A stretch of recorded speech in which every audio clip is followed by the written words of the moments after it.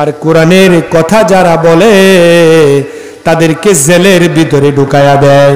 ওই আলেমরা সুদ থেকে বাঁচানোর জন্য কথা বলে, ঘুষ না খাওয়ার কথা বলে, মিথ্যা কথা না বলার কথা বলে, সত্য কথা বলার জন্য আহ্বান করে, জিনা না করার কথা বলে, উজুনে কম না দেওয়ার কথা বলে। ও আমার বন্ধু, ডক্টর ইউনুসের নেতৃত্বে কয়েক কোটি লোক জাহান নামে কাতারে পাঠাইয়া দিছে, তারে দেয় নোবেল প্রাইজ। আর বিশ্ববিখ্যাত মুফাসসির পঞ্চাশটি বছর তাম পৃথিবীতে তাফসির করল। চোরে চুরি সারলো, ডাকাতে ডাকাতি সারলো, জানা জানাখুর সারলো, মদখুর মদ সারলো। তাকে তেরো বছর জেলখানায় রাখার পরে কারাগারে বিষ দিয়ে তাকে হাসপাতালে হত্যা করা হচ্ছে। সে আলেমদেরকে জেলখানা পুরে পুরে মারা হচ্ছে। আমার বন্ধু, দিনের বিজয় যখন হয়ে যেত তখন মানুষগুলো ঘরের দরজা মেলে ঘুমাবার সুযোগ পেত। চুরি থাকতো না, ডাকাতি থাকতো না, জেনা থাকতো না, হত্যা থাকতো না, দর্শন থাকতো না, ইপটিজিং থাকতো না। ও আমার বন্ধু, তাহলে বোঝা গেল সব বাদ দিয়া আগে দিন বিজয় করা দরকার। সব ফরজের বড় ফরজ হলো দিন বিজয়। দিন বিজয় হলে নামাজ বিজয় হবে। দিন বিজয় হলে সুদ থাকবে না, ঘুষ থাকবে না, মিথ্যা কথা থাকবে না, ওজনে কম দেওয়া থাকবে না, বাটফারি থাকবে না, দুকাবাজি থাকবে না, প্রতারণা থাকবে না, সমাজে অসৎ মানুষগুলো সমাজে নেতৃত্ব দিতে পারবে না। আবু তালেব জেলের ভিতরে বলতেছে বাতি যা আমার নিজের জীবনের চাইতেও আমি তোমাকে অনেক মহব্বত করি, অনেক ভালোবাসি। সুবাহ আল্লাহ আমি মরতে রাজি বাতিজা, তোমাকে মরতে দিতে রাজি? না, তুমি আমার বিছানায় শো। এখন বুঝেন আবু তালেব বিশ্ব নবীকে কত ভালোবাসছে, কিন্তু এই ভালোবাসার মূল্য কোথায়? মৃত্যুর আগ মুহূর্তে মোহাম্মদের কালেমা আল্লাহর দেওয়া কালেমা নেয় নাই, মোহাম্মদের দিন গ্রহণ করে নাই কিন্তু ঠিক তদ্রূপ আজকের আলেমদের ভালোবাসা, সাধারণ মানুষদের ভালোবাসা, ওই মুশরেক আবু তালেমের মতো। শুধু নবীকে নবীকে মোহাম্মদ নবী হিসেবে মানি, আদর্শ নেতা হিসেবে মানি না। আদর্শ নেতা হিসেবে লেলিনকে মানি, কালমার্সকে মানি যশ হোসেনকে মানি, জিয়াউর রহমানকে মানি, বঙ্গবন্ধুকে মানি, এরশাদকে মানি। নবীকে আদর্শ নেতা হিসেবে মানলে পৃথিবীর কোন নেতাকে আদর্শ নেতা হিসেবে মানা যায় না। আদর্শ নেতা শুধু একজন, তিনি কে? মোহাম্মদ ওয়াসাল্লাম। দিনের পথটা খুব মরুময় কষ্টকাঠিন্য আপনি যদি খাগড়াছড়ি যান, বান্দরবন যান, খাগড়াছড়ি বান্দরবন যাওয়ার পরে যদি দেখেন কি আজীব কারবার রাস্তা। এ খাগড়াছড়ি বান্দরবনের রাস্তা দিয়ে আঁকা বাঁকা আপনি যদি কন, ঢাকা থেকে দাউদকান্দির যে রাস্তা, এটা তো অনেক সোজা। এই খাগড়াছড়ি আঁকা বাঁকা রাস্তা কেন? আপনি যদি প্রশ্ন করেন, ওই এলাকার মানুষ বলবে খাগড়াছড়ি আর সেন খাগড়াছড়ি রাস্তা হলো সাপের মতো আঁকা বাঁকা। ওখানে সোজা রাস্তা পাওয়ার কোনো সুযোগ নাই? আপনি বলবেন, আমি সোজা রাস্তা চাই। ওই এলাকার মানুষ বলবে, খাগড়াছড়ি আসছ খাগড়াছড়ির রাস্তায় বাঁকা। নবীর পথে চলবেন, নবীর পথে হাঁটবেন। মাইল আসবে না, বিপদ আসবে না, মুসিবত আসবে না, এটা হতে পারে না।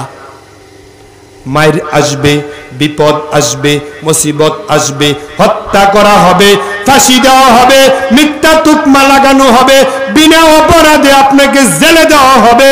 বুঝতে হবে নবীর আদর্শের সাথে, নবীর রাস্তার সাথে, নবীর কর্মের সাথে, নবীর আন্দোলনের সাথে আপনার রাস্তার মিল এখনও হুবহু আছে। মায়ের যদি না আসে, বিপদ যদি না আসে, বুঝতো তাহলে বুঝতে হবে এটা আসলে নবীর রাস্তা না। তফাত হয়ে গেল, কে মুশরেক, কে মোমেন, ওয়ালাউ কারিহাল মুশরিকুন। দিনের বিজয়ের কথা যারা শুনে, তাদের অন্তরে যারা হিল্লোল জাগে না, আনন্দ জাগে না, বুঝতে গেল, বোঝা গেল তারা মোমেনদের একজন না। নিশ্চয় তারা মুনাফেকদের একজন, অথবা মুশরেকদের কেউ। দিনের আলোচনা শুনে, দিনের বিজয়ের কথা শুনে যাদের অন্তরে ভালোবাসা জাগে না, বোঝা গেল তার অন্তরে মুনাফিকি আছে। মারা গেলে জান্নাত পাবে না। রাসূল বলেছেন মান আবা। আমার সব উম্মত জান্নাতে যাবে। কুল্লু মানে সব মানে বাদ নাই।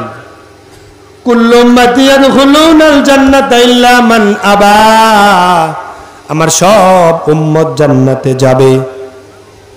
কিলা মান আবা? তবে যারা আবা হয়ে গেছে, তারা ছাড়া সাহাবাই কারাম প্রশ্ন করলেন, ইয়া রাসূলুল্লাহ, আবা হয়ে গেছে কারা? আল্লাহর হাবিব ব্যাখ্যা করে বলেন, ক্বালা মান আতাআনি দাখালাল জান্নাহ, ওয়া মান আসানি ফাকাদ আবা। যারা আমাকে শয়নে, স্বপনে, জাগরণে, কথোপকথনে, আমার হাঁটা চলাফেরা, লেনদেন, বিষাদি কাজকর্ম যা কিছু আছে জীবনে সব ক্ষেত্রে আমি নবীকে ফলো করবে তারাই শুধু আমি নবীর সাথে জান্নাতে যাবে সুবাহান আল্লাহ এখন আপনি একটু মিলান। আপনার বুঝ হওয়ার পরে, বালেগ হওয়ার পর থেকে আজ পর্যন্ত আপনার সংগ্রাম, আপনার আন্দোলন, আপনার বিয়ে শাদী আপনার লেনদেন, আপনার কাজকর্ম, আপনার ওঠা বসা আপনার চলাফেরা, আপনার ব্যবসা, আপনার বাণিজ্য, আপনার চাকরি, আপনার বাকরির লেনদেন সব কিছু রাসুলের সন্ন্যার সাথে মিলে করছেন তো?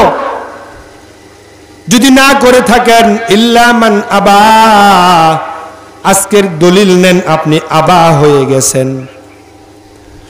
যারা রাসুলকে সব জায়গায় মানতে রাজি না, তারা রাসুলের সাথে জান্নাতে যাওয়ার কোনো প্রশ্নই উঠে না।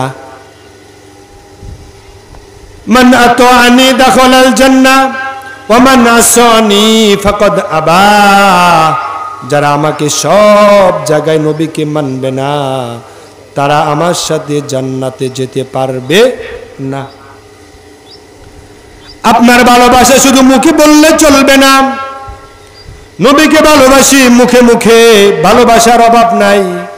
কিন্তু মুখে মুখে ভালোবাসা দিয়ে জান্নাত পাওয়া যাবে না। আপনার মা আপনাকে কত ভালোবাসে এটা বলে শেষ করা যাবে না। আপনার বিবাহিত স্ত্রী হয়তো আপনাকে বলতে পারে, আমি আপনাকে অনেক ভালোবাসি। আপনার মেয়ে বলতে পারে, বাবা, আমি তোমাকে অনেক ভালোবাসি। প্রেমিক, প্রেমিকাকে বলতে পারে, আমি আপনাকে অনেক ভালোবাসি।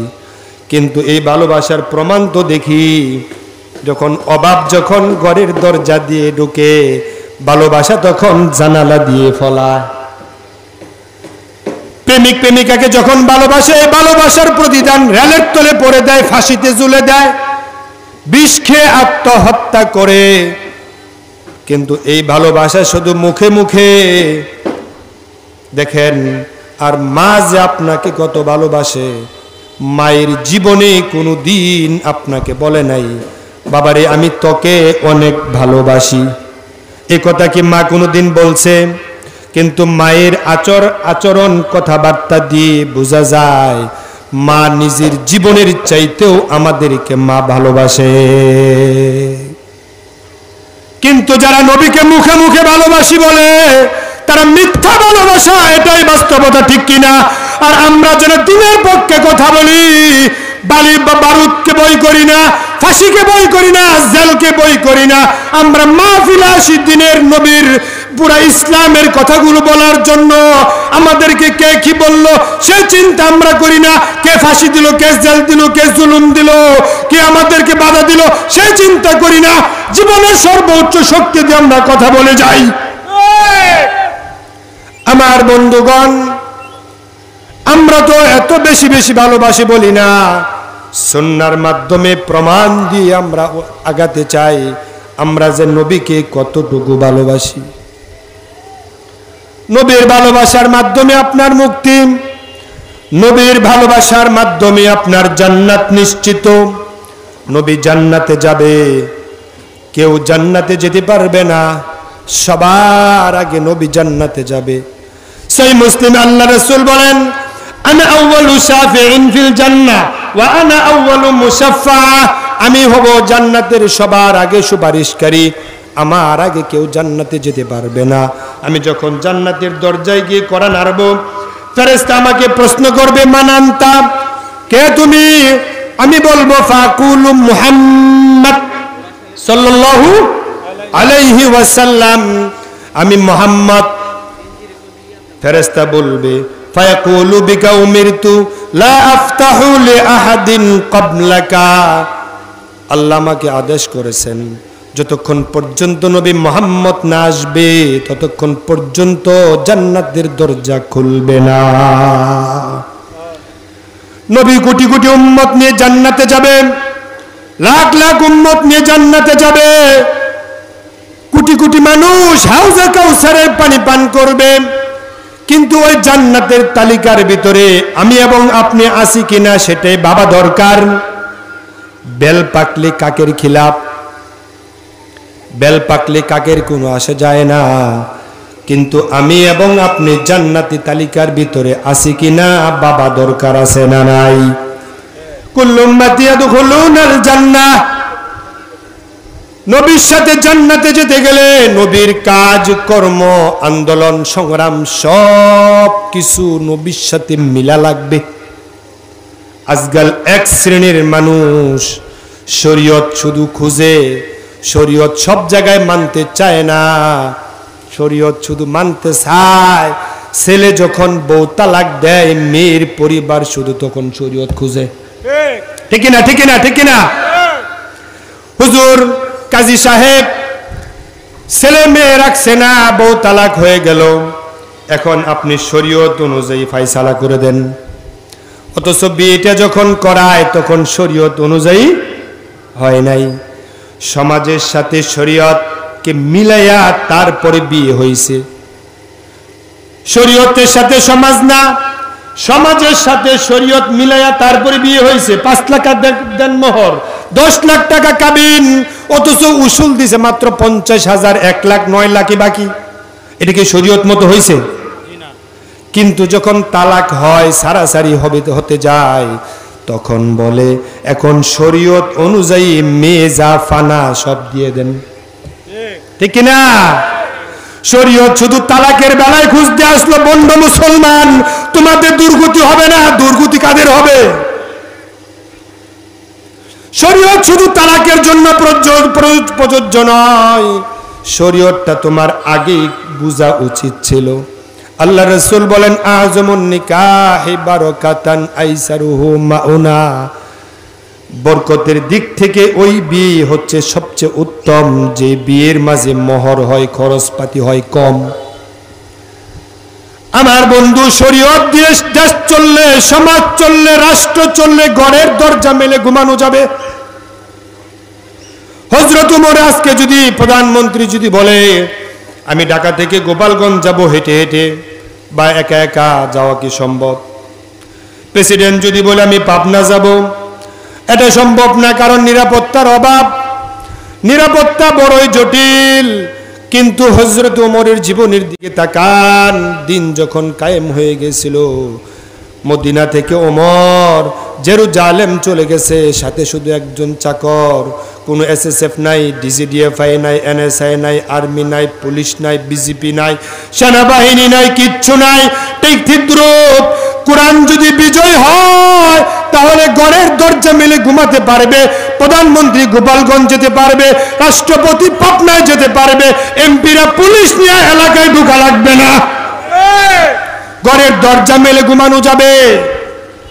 আমার বন্ধু, দিনের বিজয় যারা করবে না আল্লাহর বাসায় হলো মুশরেক। এমন মুশরেক ওলা কিছু টুফিওলা কিছু আলেম আমার মতো, আপনার মতো সমাজের দেশে আছে না নাই। পীর সাহেব দিন বিজয়ের কথা বলে না, মুরিদ কমে যাবে। বক্তা দিন বিজয়ের কথা বলে না, তার মাহফিল কমে যাবে। আলেম দিন বিজয়ের কথা বলে না, সে হকপথ থেকে ছিটকে যাবে। আলেম হক কথা বলে না। তার বিপরে বিপদ হবে। আজকাল অনেক মসজিদের খতিবরাও পর্যন্ত দিন বিজয়ের কথা বলে না। হক কথা বলে না এই জন্যই কারণ তার চাকরিটা চলে যাবে। খাওয়াবে কে? অথচ আল্লাহ তিনি যে রিজিক দাতা, এটা এই আলেম ভুলেই গেছে। আমার বন্ধু, দিনকে বিজয় লক্ষ্য বানান। দিনকে যদি বিজয় লক্ষ্য বানান তাহলে কোরআন বিজয় হবে। কোরআন যদি বিজয় হয়, তাহলে সমাজের মানুষ গড়ের দরজা মেলে ঘুমাবার সুযোগ পাবে। তাই দিন বিজয়কে আমাদের লক্ষ্য বানাতে হবে। দিন বিজয়ের পথে কাজ করতে গেলে বিপদ হবে, এটা জেনেই আল্লাহ পালা বিশ্ব নবীকে দায়িত্ব দিয়েছেন, হে নবী, দিন বিজয়ের কাজ এত সুজানা আল্লাহ তালা সূরা বুরুজে বলেন ওমা নাকামু মিনহুম ইল্লা আইয়ুমিনু বিল্লাহিল আজিজিল হামিদ। বিশ্ব নবীকে প্রবোধ দিচ্ছেন, সান্ত্বনা দিচ্ছেন, সাহস দিচ্ছেন আল্লাহ। মিনহুম ইল্লা আইয়ুমিনু বিল্লাহিল হামিদ। তারপরে বলেন, কতিলা সাহাবুল উখদুদ। হে নবী, আগুনওয়ালা মানুষদের জীবনী পড়ুন। আগুন জ্বালায়া, আগুনের কুণ্ডলি বানায়া জীবন্ত মানুষগুলোকে আগুনের ভিতরে ফেলে দিয়েছে। তাদের একটা মাত্র অপরাধ। তারা আল্লাহর উপর ইমান নিয়ে আল্লাহর উপর ভরসা করে তারা সামনে আগাত। তাদের কোনো অপরাধ ছিল না। আজকাল ঠিক তো ধ্রুব আমরা দেখতে পাই। পরিবেশ যত খারাপ হচ্ছে, দিন যত সামনে যাচ্ছে, পরিবেশ তত খারাপ হচ্ছে। আলেম, ওলামা, পীর মাসায়েক বুজুর্গ, দিনের পক্ষে যারা কথা বলে, তারা বাড়িতে কেউ ঘুমাতে পারে না। রাত্রে বেলা পুলিশের কোনো কাজ নাই। শুধু মানুষদেরকে, দিনের মুজাহিদদেরকে ধরে ধরে জেলখানা বড় আলেমদেরকে ধরে ধরে পিঠাও, আলেমদেরকে ফাঁসি দাও, আলেমদেরকে জেল দাও। আলেম যদি জেল দিয়ে ভরে ফেলা, তাহলে তাদের মনে চিন্তা হলো, আমাদের বিরুদ্ধে কথা বলার মতো কেউ সাহস রাখবে না, আমাদের বিরুদ্ধে কথা বলতে পারবে না। লক্ষ কোটি আলেমও যদি জেলখানায় নাও, লক্ষ কোটি আলেমদেরকে যদি ফাঁসি দাও, তারপরও আলেমরা তোমাদের বিরোধিতা করবে। তোমরা আমাদের পথে আসো। ওয়েলকাম করে স্বাগতম জানিয়ে তোমাদেরকে স্যালুট দেব। আমরাও তোমাদের দলে ঢুকে যাব। কিন্তু আলেমরা হক কথা বলে না। শুক্রবার দিন সুন্দর করে আলেম আল্লাহ আকবার বলে সামনে নামাজ পড়ায়। কতিব সাহেব খুতবা দিচ্ছে, কিন্তু সমাজের দিকে ফিরে তাকায় না। এই সমাজে কতগুলো মানুষ সুদ খায়? কতগুলো মানুষ ঘুষ খায়? ইমাম সাহেব পিছনে একবার ফিরেও তাকায় না। অথচ সুদ খেয়ে আবাদত করলে, ঘুষ খেয়ে আবাদত করলে, ওই আবাদত আল্লাহ পর্যন্ত পৌঁছবে না, আসমান পর্যন্ত যাবে না। বাংলাদেশে কত মসজিদ, মাদ্রাসার সেক্রেটারি কেশিয়ার গিয়ে দেখেন ঘুষ খায়, সুদ খায়, অপকর্মের সাথে সম্পৃক্ত, তাদের কাছে ইমাম মাথা নত করে তারপরে চাকরি করা লাগে। দিনের বিজয় নাই। সব বাদ দিয়ে দিনের বিজয়। দিনের বিজয় যদি হয়, তাহলে নামাজ বিজয় হবে। রোজার বিজয় হবে, জাকাতের বিজয় হবে। আজকে সুদ দেওয়া ফরজ, জাকাত দেওয়া নফল। সুদ মাস দিতেই হবে, নামাজ পড়ে আপনি সুদ দিচ্ছেন। আপনার বাড়ির পড়লে বিদ্যুতের বিল যখন বকেয়া হয়ে যায়, পরের মাসে কি মুনাফা সুদ ছাড়া কি বিল দেওয়া যায়? আগের দিন না আপনি নামাজ পড়লেন, সুদের বিরুদ্ধে গেলেন, মসজিদের ইমাম সাহেব কথা বলল, সুদ খামো না, সুদ দিমু না। ঘুষ খামু না, ঘুষ খামু না, ঘুষ দিমু না। কিন্তু পল্লী বিদ্যুতের বিল যখন দিতে যান, দুই মাসের বিল, তখন সুদ ছাড়া কি দেওয়া যায়? নামাজ পড়ে সুদ দিচ্ছেন।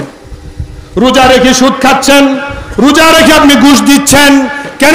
দিনের বিজয় যখন হয়ে যাবে, তখন ঘুষ চলবে না। এই যে গত তিন দিন আগে আমি এক জায়গায় প্রোগ্রাম করতে গেলাম দিনের বেলা। আসার পথে জ্যাম লাগল, টিউন অফিসের সামনে, এসিলেন অফিসের সামনে। এক লোক এসিলেন অফিসের সামনে, খাড়ায়া কাঁদছে। এক ডিসিম জায়গা আমি পেয়েছি মাথা গুজার জন্য। এই জায়গাটুকুর মাঝে আবার ফেস লাগাই দিছে। এখন পাঁচশো টাকার বিনিময়ে ওই এসিলেন সাহেব বমি অফিসের কর্মকর্তা সান দিচ্ছে না। সাইন দিতে গেলে লাগবে পাঁচশো টাকা। বেচারা পায়ে ধরতে রাজি। আমার কাছে কোনো টাকা নাই, পয়সা নাই। কত কষ্ট করে পেলাম, তাও আপনি একটা সিঙ্গেসার যদি না দেন, জায়গাটাও চলে যাবে। ওই হারামখুর, ওই সুদখুর সিঙ্গেসার দিতে রাজি হলো না। বেচারা বলতেছে, আমি চব্বিশ লক্ষ টাকা দিয়ে তারপরে আমি এই জায়গায় বসছি। ও আমার ভাই, চব্বিশ লক্ষ টাকা তোলার জন্য মানুষের কাছ থেকে জোর করে ঘুষ নিচ্ছে, চাঁদা নিচ্ছে।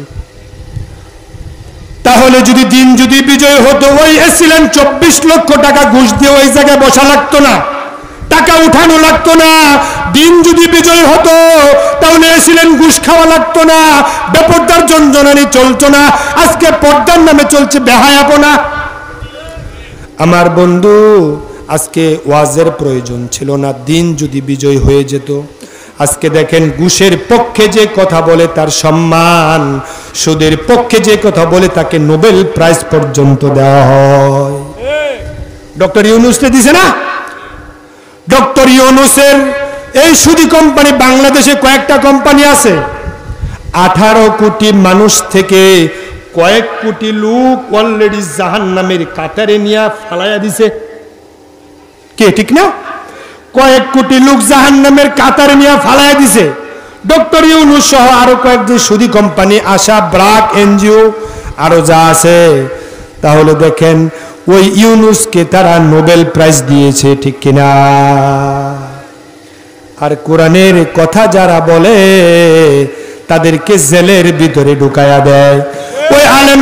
সুদ থেকে বাঁচানোর জন্য কথা বলে, ঘুষ না খাওয়ার কথা বলে, মিথ্যা কথা না বলার কথা বলে, সত্য কথা বলার জন্য আহ্বান করে, জিনা না করার কথা বলে, উজুনে কম না দেওয়ার কথা বলে, ও আমার বন্ধু, ডক্টর ইউনুসের নেতৃত্বে কয়েক কোটি লোক জাহান নামে কাতারে পাঠাইয়া দিছে, তারে দেয় নোবেল প্রাইজ। আর কয়েক এক কয়েকজন মানুষ বিশ্ববিখ্যাত মুফাসসির পঞ্চাশটি বছর তাম পৃথিবীতে তাফসির করল। চুরে চুরি সারলো, ডাকাতে ডাকাতি সারলো, জানা জানাখুর সারলো, মদখুর মদ সারলো। তাকে তেরো বছর জেলখানায় রাখার পরে কারাগারে বিষ দিয়া তাকে হাসপাতালে হত্যা করা হচ্ছে। সে আলেমদেরকে জেলখানা পুরে পুরে মারা হচ্ছে। আমার বন্ধু, দিনের বিজয় যখন হয়ে যেত তখন মানুষগুলো ঘরের দরজা মেলে ঘুমাবার সুযোগ পেত। চুরি থাকতো না, ডাকাতি থাকতো না, জেনা থাকতো না, হত্যা থাকতো না, দর্শন থাকতো না, ইপটিজিং থাকতো না। ও আমার বন্ধু, তাহলে বোঝা গেল সব বাদ দিয়া আগে দিন বিজয় করা দরকার। সব ফরজের বড় ফরজ হলো দিন বিজয়। দিন বিজয় হলে নামাজ বিজয় হবে। দিন বিজয় হলে সুদ থাকবে না, ঘুষ থাকবে না, মিথ্যা কথা থাকবে না, ওজনে কম দেওয়া থাকবে না, বাটফারি থাকবে না, দুকাবাজি থাকবে না, প্রতারণা থাকবে না। সমাজে অসৎ মানুষগুলো সমাজে নেতৃত্ব দিতে পারবে না। কোরআন দিয়ে দেশ চলবে, মসজিদ যেমন চলে, এই কোরআন দিয়ে দেশটাও চলবে। আজকে কোরআনকে আমরা অবহেলিত কিতাব বানাইছি। অবহেলিত কিতাব মানি। গোলাপ ফুল যদি ফোটে, দেখতে কত সুন্দর। দেখলে নয়ন জোড়ায়। নাকের কাছে নিলে গন্ধে মোমো হয়, মন জোড়ায়। কিন্তু সে গোলাপ ফুলকে যদি ফুটতে না দেন, কলির ভিতরে যদি থাকে, তাহলে এই গোলাপ ফুল যেমন কলির ভিতরে বন্দি আজকাল সমাজে ঠিক তদ্রুপ কোরআনটাও গিলাফের ভিতরে বন্দি। সেই কোরআনটাকে প্রয়োগ করতে হলে আলেমরা ক্ষমতায় যেতে হবে, কোরআনকে ক্ষমতায় নিতে হবে। আজকে কোরআনের পক্ষে যারা কথা বলে, এক শ্রেণির মানুষের চোখে তারা খারাপ। শুধু আমরাই খারাপ না, আবু জাহেলের চোখে নবী মোহাম্মদ ছিল খারাপ। আবুল আহাবের চোখে নবী মোহাম্মদ ছিল খারাপ। উদ্বার চোখে নবী মোহাম্মদ ছিল খারাপ। এই জন্য নবীকে জেলে দিছে, খাবার বন্ধ করে দিছে, পানি বন্ধ করে দিছে। নবীকে তিন বছর জেলে দিয়েছে। ঠিক তদ্রুপ আমরাও যারা ওই পথে, ওই আদর্শে আদর্শিত হয়ে আমরাও যারা সমাজে কথা বলি, জালেমরা আমাদেরকে ভালো সহ্য করতে পারে না, বাঁকা চোখে তাকায়। সমাজে জালেমরা সুৎখুর ঘুষখুর, দর্শনের সাথে সম্পৃক্ত, অপকর্মের সাথে সম্পৃক্ত, নামাজ পড়ে না, মিথ্যা কথা বলে, তারা সমাজে বুক ফুলাইয়া চলে, আর আলেমরা হক কথা বললে তাদের চাকরি যায়। দিন যদি বিজয় হতো, আলেমের চাকরি যাওয়ার কোনো সুযোগ ছিল না। দিন যদি বিজয় হতো বিভিন্ন অফিস আদালতে, কারখানায়। এই যে আপনাদের বাংলাদেশ জুট মিল, এটা সুদের একটা ফ্যাক্টরি ঠিক কিনা? এটা একটা ঘুষের ফ্যাক্টরি ঘুষ ছাড়া এখানে কোনো কিছু চলে না। প্রদোন্নতি প্রমোশন একদিন অ্যাবসেন্ট করছেন, কিন্তু দুই দিন পরে যদি যান, পাঁচশো টাকা মুসলেকা দিলে চাকরি আগের জায়গায় বহাল। ঘুষের একটা ফ্যাক্টরি সুদের একটা ফ্যাক্টরি এগুলো সব মূল হবে দিন যদি বিজয় হয়। আল্লাহ তাআলা বলেন, ওয়ালাউ কারিহাল মুশরিকুন। মুশরিকেরা দিনের বিজয় হোক, সেটা তারা সহ্য করবে না। তাহলে আমার, আপনার কাজ হলো দিনের বিজয়। দিনের বিজয় হতে হলে কোরআনকে সংসদে ক্ষমতায় নিতে হবে। তাহলে দিন বিজয় হবে, ইসলাম বিজয় হবে, কোরআন বিজয় হবে। তাহলে অশান্তি খারাপ মানুষগুলো এই চেয়ারে বসার মতো সুযোগ পাবে না। তাই আসুন, আমরা সব বাদ দিয়ে দিন বিজয়ের পক্ষে আমরা কথা বলব। রাজি আছি না নাই? ইনশাআল্লাহ, যতদিন বেঁচে থাকব, দিনের বিজয়ের তামান্না নিয়ে আমরা যেন পৃথিবীতে বেঁচে থাকতে পারি, আল্লাহ যেন সেই তাওফিক দান করেন, বলি আমিন। هذا ما عندي والعلم عند الله.